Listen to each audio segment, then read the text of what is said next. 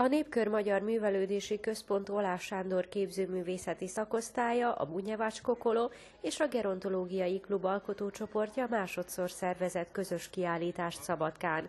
A céljuk az, hogy a képzőművészetet kedvelők megismerjék a munkáikat, valamint a csoportok tagjai is tapasztalatot cseréljenek.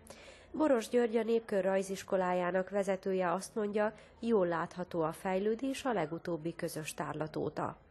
A munkák között van minőség, különbség is, azért, mert ott, ahol mondjuk szakszerűen foglalkoznak az amatőrökkel, ott van bizonyos haladás és előrelépés.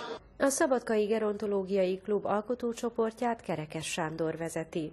Előrelépést látok, ami pedig a a, az és a, a tér kitöltésének a szabadságában van. Tehát nem zsuffolt, nem, nem be, be, be, be gyömöszölt dolgokról van szó, ami a képeket illeti, hanem kapunk egy szép játékot, kapunk sok levegőt, ami, ami különben úgy lesz, hogy az éterbe él egy ilyen, ilyen gondolat, hogy minél kevesebbet, minél kevesebb eszközzel, minél többet mondjuk.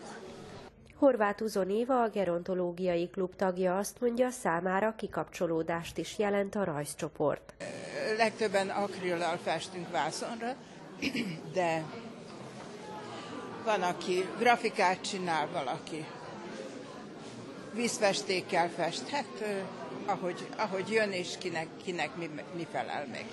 A szabadkai műkedvelő képzőművészek munkáit november közepéig tekinthetik meg az érdeklődők a Szabad Egyetem földszintjén.